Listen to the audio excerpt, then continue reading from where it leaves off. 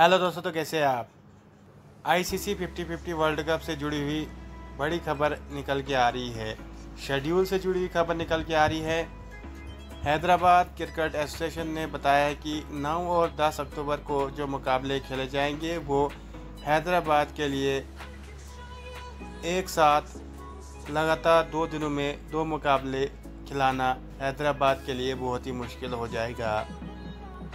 Hyderabad police का कहना है कि इतनी सिक्योरिटी वो लगातार दो दिनों में नहीं दे सकती है। बात करें 9 अक्टूबर को तो 9 अक्टूबर को न्यूजीलैंड और नीदरलैंड के बीच मुकाबला खेला जाएगा। वहीं 10 अक्टूबर को श्रीलंका और पाकिस्तान के बीच मुकाबला खेला जाएगा। हैदराबाद क्रिकेट एसोसिएशन का कहना है, दोनों में एक मुकाबले को चेंज किया जाए, यानी इस पिक्चर को चेंज किया जाए। इसमें ये दो मुकाबले जो खेले जाएँगे, नौ और दस अक्टूबर को, एक मुकाबला किसी और डेट पे रखा जाए, ये हैदराबाद क्रिकेट एसोसिएशन का कहना है। अब देखने वाली बात होगी, आने वाले दिनों में इस पर क्या फ़ैसला लिया जाता है, ये आने वाले दिनों में कन्फर्म हो जाएगा।